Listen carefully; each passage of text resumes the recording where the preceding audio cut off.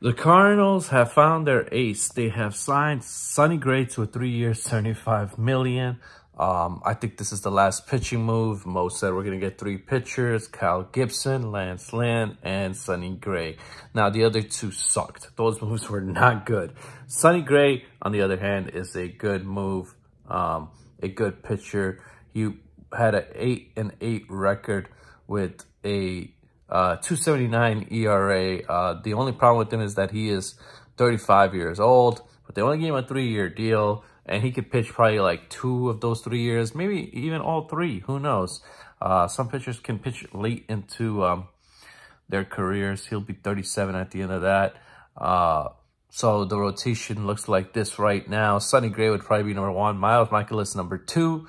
Uh, you could put Steven Matz, Lance Lynn, and Kyle Gibson. Those three, I feel like you could rotate either way. Uh, not a fan of three to five, but one to two looks pretty solid. Um, I know people don't like Miles Mikolas, but I think he's an okay pitcher. I think he's solid. Sonny Gray is a lot better than people talk about. He's underrated. Has a good, had a really good ERA. Um, I wish we got him when he was a little bit younger, but I'll take him. Um, you know, it, it's sad that like this is like our starting rotation. I wish it could have been like Snell. We could have added Snell to it. It would have been better.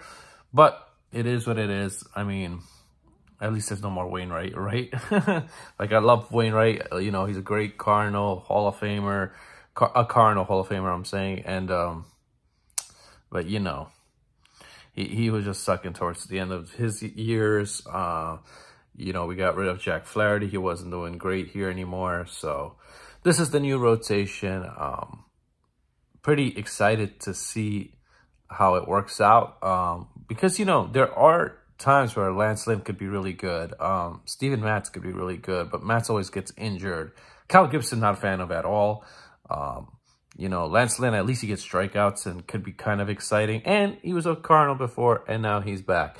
So, yeah, I mean, it's 25 million, but it's three, it's only three, uh, tw oh, it's only for three years. So 25 times three, it's 75 million altogether. It could be worse. It could be better, of course, if you got Snell. I knew we were not going to get Snell. We were linked to Sonny Gray, and we actually got Sonny Gray. Um, so Mo actually did stuff during this uh, free agency. So I will give him credit for that, you know. Um, but I wish he did more. Got um, if he got Snell, that would have been out of, you know, the, that would have been crazy. Um, but I think the Cardinals still need to address some hitting. If you could get like Cody Bellinger or something like that, that'd be great. I think we need an outfielder or so, someone who could hit home runs. Uh, yeah, so tell me in the comments below what you think about Sonny Gray being a Cardinal. I personally like it.